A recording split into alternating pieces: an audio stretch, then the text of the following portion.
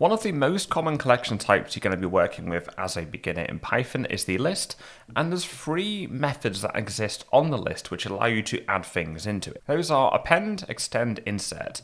And here's a real quick primer on how to use all three of them and their differences. The most simple one is append, and this simply adds one item to the end of a list. So in this case here, we've got our list on line 9. Then on line 12, we've then gone ahead and said, take 99 and put this to the end of the list. Running our code, we see a before and after, and there we are. We can see 99 is now at the end of our list. Next up is extend.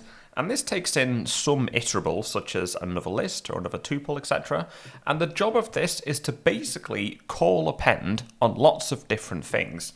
So say, for example, we did 66, 99, and then do 1, for example, it's going to add all of these to the end of the list. So this is basically the same as calling append on this, this, and this individually. And from the printout, we can indeed see that we have these three items now sat at the end of our list. Now, the last one's a little bit different because it takes two inputs.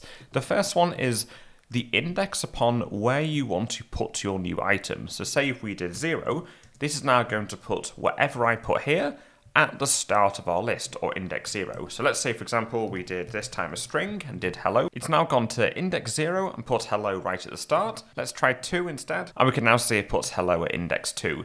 If you do an index that's too big, let's say for example we do 10, Python doesn't really mind about this, it simply puts it at the last most position in your list. You can also do a negative index, so if you do minus 1, it's then going to go one position in from the right hand side. So there you have it, there's append, extend, insert, the three ways of adding stuff to your lists in Python.